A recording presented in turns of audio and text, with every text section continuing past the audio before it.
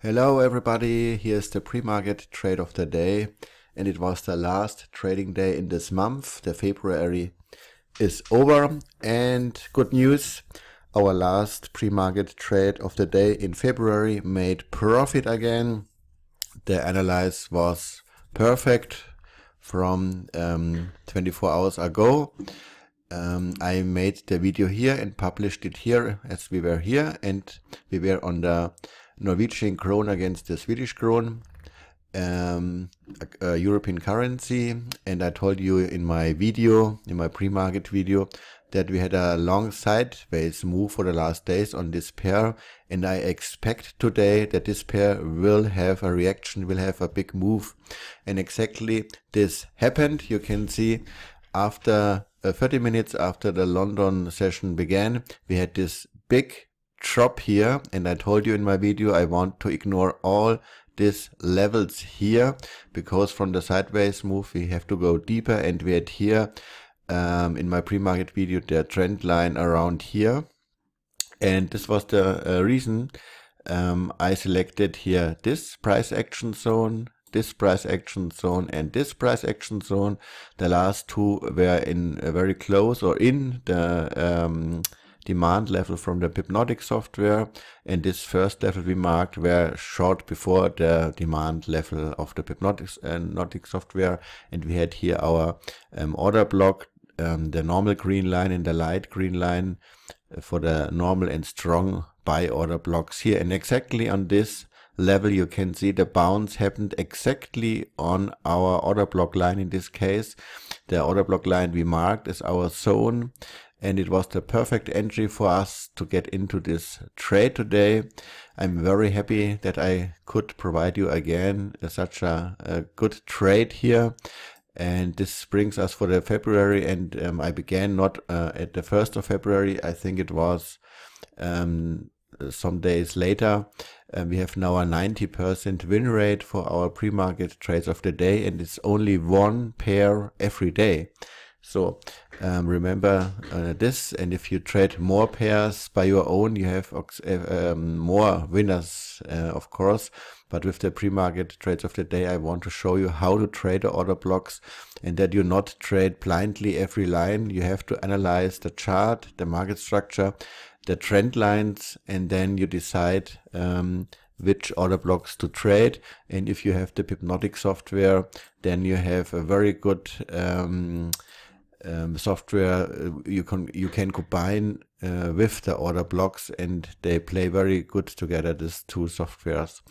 So um, I uh, was um, here in this trade. Um, I had here uh, saw this, that we have this big down move and I placed in this case here pending order because I um, had to jump um, out of the office for a, a one hour and so I placed it exactly on the green line um, that I can catch this uh, trade because after this big drop it was very obvious that we will get here uh, a reaction on our um, price action zone and I was exactly here then in the trade but um, I had um, secured my trade here. I was a little bit too early um, here I closed 90% of my trade and secured it with a break-even um, stop loss. You can see um, the break-even stop loss did hold here. It was not in danger. It came here a little bit back, but uh, it hold. But then with the trailer begin here to trail, I was with the uh, last 10% of my trade then here out around this area here. Um, and then uh, this big move uh, came again. So I was not in this big move then. Um, a little bit too early, um, I closed uh, this, of course, but I was not on the computer every time, and I set a target here for my, um, or, or set a trailer here that um, I um, don't come into um, minus or lose here the profit um, it's it's always the same. We can't normally not um, grab out a completely move of uh, such a trade.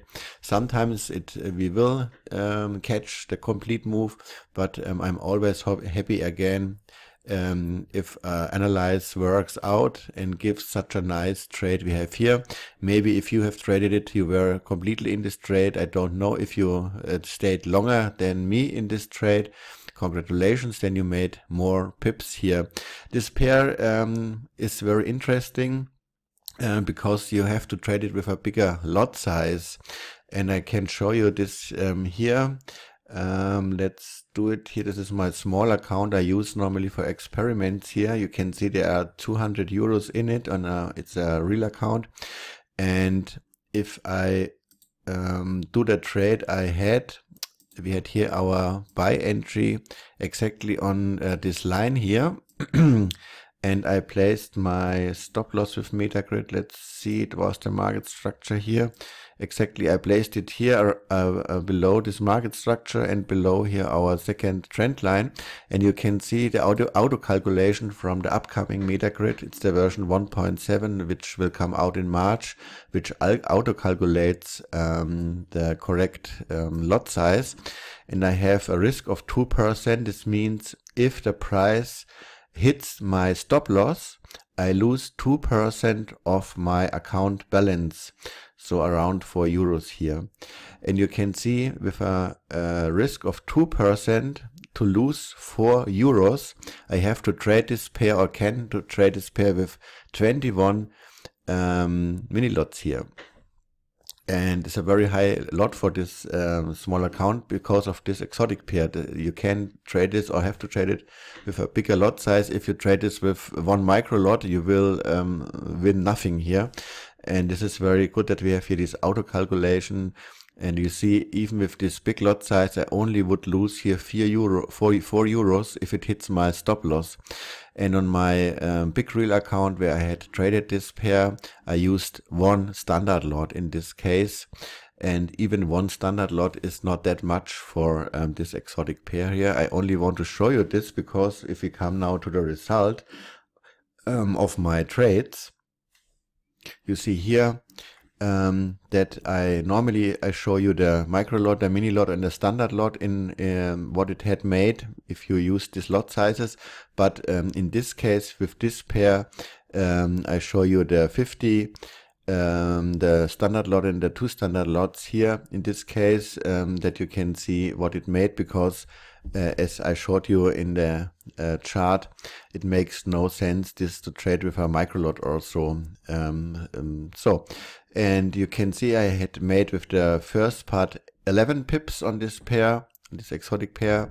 This was where I then secured my 90% and the last um, portion of my trade made then 18 pips and this um, is the pip value here for mini lot I marked here and if we then look on our um, result, if we traded it with, with um, the 0.50 um, lots, then this had give uh, 5 euro 20 for the first part with a standard lot which I traded on my uh, bigger uh, live account. It made 10 euros uh, 45 and the part 2 um, which uh, made 18 pips. If you traded it with uh, 0.5, it made 8 euro 5 and 17 euro and uh, 34 euros.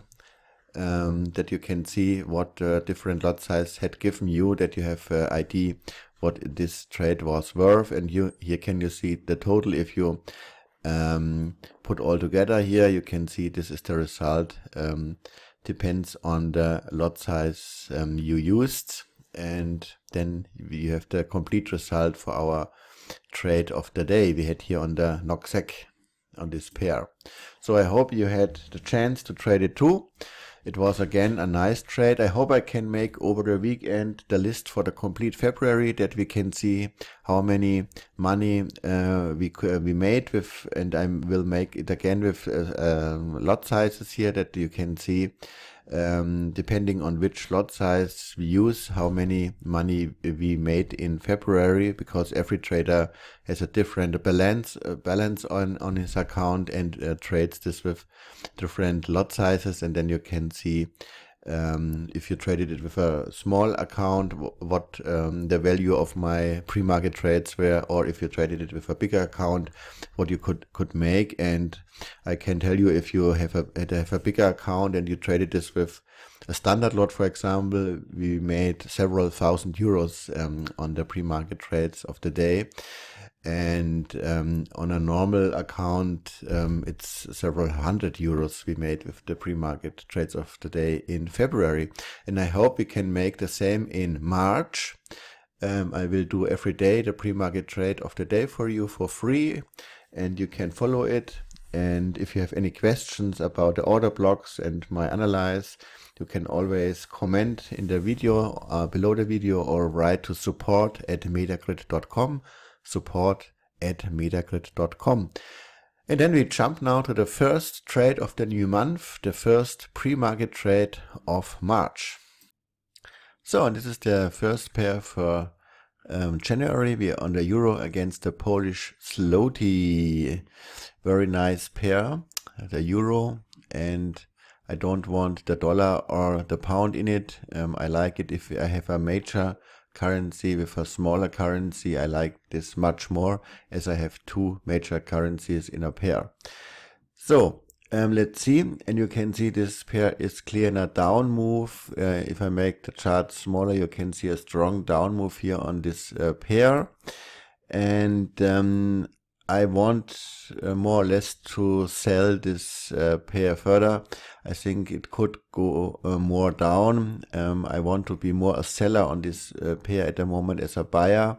And um, what I would like to see if we get a reversal and then we can sell again. And um, in this case, I don't have the Pipnotic supply and demand zones today on my chart because Sarit, who is the developer of the supply and demand uh, zone software, has not provided provided yet the March license code. Um, and as I don't have it at the moment, I can't use uh, the software on my chart, but I think he will provide it during the next hours um, if he is awake. Um, so we have to do it without supply and demand in this case. Um, I think um, if we look here, um, here it was a starting point of this um, next drop. It dropped, of course, from here, then it stopped a little bit, and then after some kind of accumulation, then we get here the next drop. And so this is here, of course, a supply zone here on this area. Um, if we mark it here, um, even if we have not the software at the moment, but here we have a supply zone based on the rules. And we have close uh, to this zone here um, this um, sell order block here. We have the strong sell order block and the normal order block close together. We like this. And so I want to uh, come here into a trade and I would uh, mark this complete here as a zone um, if we uh, take the supply zone in it you can see here if we use the uh, candles here with it. Um, then we have this complete zone here for for trading, um, including of course this here. It do, does not show it at the moment, um, but this uh, whole area here I want to trade. Let's check if we can make it happen that it here is blue too. So now, this is our zone where I want to sell this pair. If it happens that the price will go up again, this would be a perfect zone for uh, for selling again. If we get a reversal here, um, I would like this here.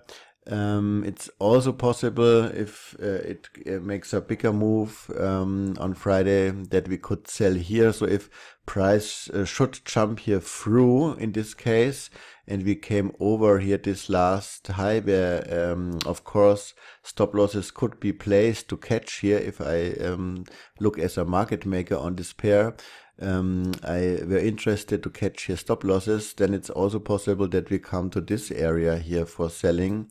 So I mark this 2 in case that price cuts here through and gives us not a price action. You know this is a price action zone um, here is would also be possible in my eyes to uh, place a pending order maybe um, because I think if price really should come up here then we should see here a reaction. So this is a pending sell opportunity too. We don't have to look here for price action only but um, if we get here the price action and here uh, come into a trade I would here delete the pending uh, order only in case that we cut completely through then here you can use the pending order but uh, delete it if price already reacted here on or reacts here on this zone Um, for buying, um, it's difficult. We have at the moment a higher spread on this pair and you can see our trend line cuts here on this um, very nice buy order block.